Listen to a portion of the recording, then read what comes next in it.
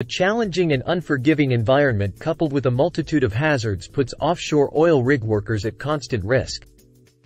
These courageous individuals face extreme weather conditions including high winds, storms and heavy seas as they work in remote locations far from the mainland.